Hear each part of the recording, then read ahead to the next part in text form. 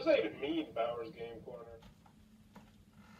Ahoy there, YouTube! I'm back again today for another game review, and today I'm very excited to check out Go Cuckoo from Haba Games. This is for 2 to 5 players, ages 4 to 99. It'll take about 15 minutes to play, and in Go Cuckoo, you are going to be creating a bird's nest and then trying to lay all of your eggs on that nest without having those eggs fall off the nest or fall through the nest. If you're able to do that, then you're going to place a little baby bird in the nest. If you do that, you'll win the game. This is a children slash family dexterity game from Haba Games, who has a very solid track record with me. Does this continue that solid track record? Let's open it up, and I'll tell you what I think about it. Alrighty then, so we're going to take a look at what you're going to get inside of Go Cuckoo. So first and foremost, we're going to handy dandy rule booklets. You'll need the first six pages.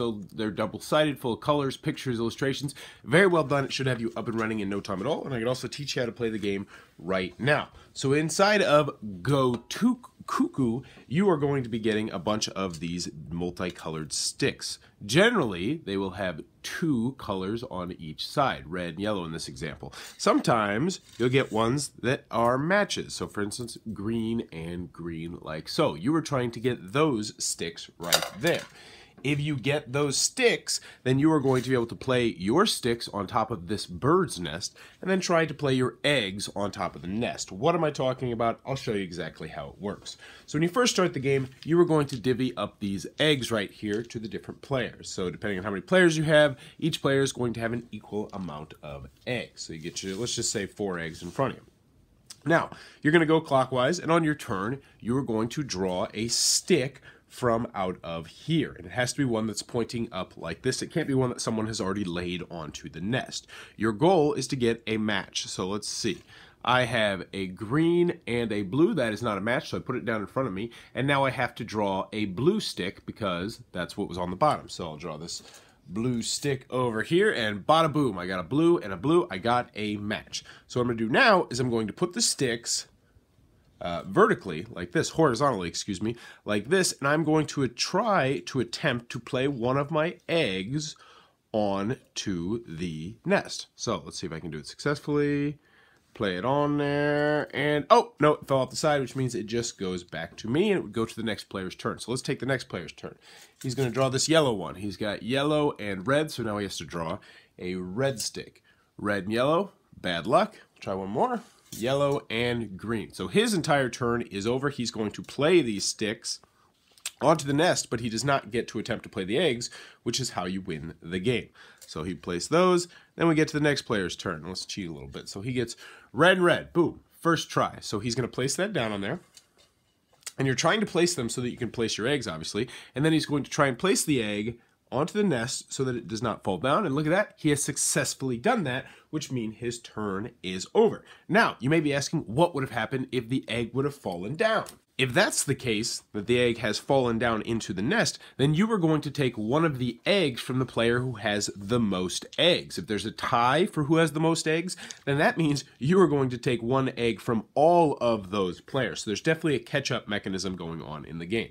So let's just uh, continue to build this up a little bit, because eventually what's going to happen is you are going to run out of eggs, because eggs will fall down into the bottom, and once they fall down to the bottom, you're not actually going to retrieve them, and uh, you'll get to the point where you don't have any eggs, where you're about to win the game. Well, you don't win the game immediately as soon as you put your last egg on there. You wait until your next turn, and then you have to place cuckoo on the nest, because obviously the mama bird has to be able to, or the baby bird, or whatever it is, has to be able to sit on the nest. So you're going to attempt to put Cuckoo on the nest. If you can do that without him falling off, then you won the game. Now in this particular example, since one egg fell off, Cuckoo would go off the nest and I would take someone else's egg, so I would still continue to play.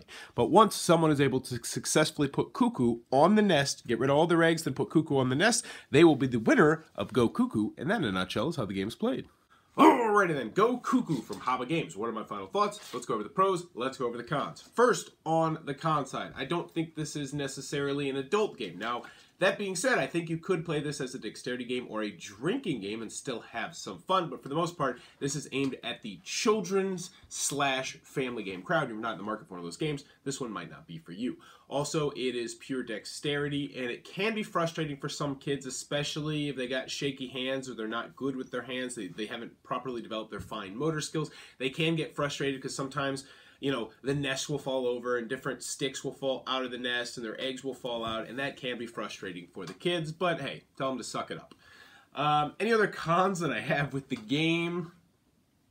Some people aren't going to like the tin. Some people aren't, you know, some people just are preconditioned not to like tins. But honestly, the tin is crucial to the gameplay, so I'm going to completely give that one a pass and say you're foolish. And I really don't have too many cons on this game. Go is outstanding. This is a very easy recommendation for anyone who has kids or is looking for a family game. Period. That's it. End of the discussion, end of the review. Why is this game so great? Fantastic components. You already expect that from Haba Games. Fantastic components. Fantastic artwork. I really like the artwork. The theme works. This definitely does feel like you're building a little nest and trying to put your eggs on the nest because you don't want your eggs to fall. I also like the catch-up mechanisms, which is one thing I forgot to mention in the con. Some people don't like catch-up mechanisms, but in a kid's game, I feel like it actually helps both adults and kids enjoy the game more. So I actually do like the catch-up mechanism, so I think it's a very good solid because you can as an adult, you can screw up at strategic times and bring kids right back into the game, and it feels cosmetic, which I like. Also, even if you screw up, as long as the, the, the egg falls through the nest, it still speeds up the game because there's less eggs to play with. I really like how everything mechanism-wise works in this game. Clear, concise rule booklet. Uh, I played it in my classroom. They had a blast with it. I played it with my wife. She liked it a lot. I played it with a couple members of my family. They enjoyed it. Everyone I've played this game with has liked this game. My son loves it. My classroom loves it. I love it. My wife loves it. It's a no-brainer. Go Cuckoo from Haba Games is going to go down as one of those evergreen games. I have a feeling for them.